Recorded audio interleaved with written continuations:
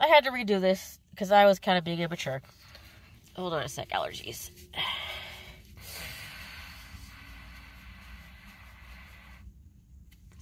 Anywho, so Thursdays are testing days for my job. I wish they would stop with it because I've been tested once a week for 24 weeks. Today was the 25th week. Um, I usually get my uh, results back late Friday, early Saturday, and I've been negative every time. Okay, I have proof. I have literal proof that I've been negative. I write it down every time I get my test back. I write down. So, test one, negative. Test two, negative. Test 3, negative. Test 4, negative.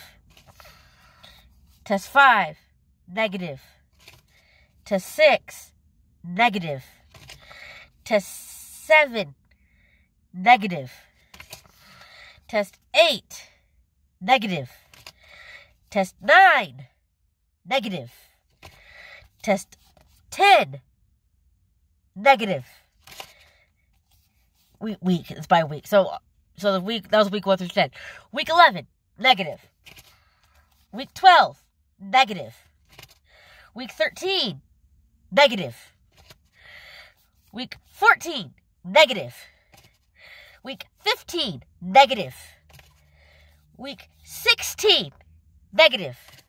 Week 17, negative. Week 18, negative. Week 19, negative.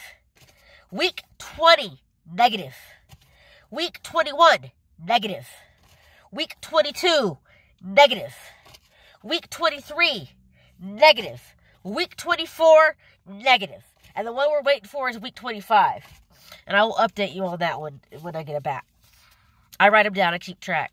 I've been negative this whole time. You need to stop with the freaking test. Stop. We're done with this commie stuff. It's over. It's done. Yes, we're going to have to live with this virus as a virus like we have for the past 100 years. It just mutated. We've had coronavirus in our lives for hundreds and hundreds of years. They used it for a bunch of stuff.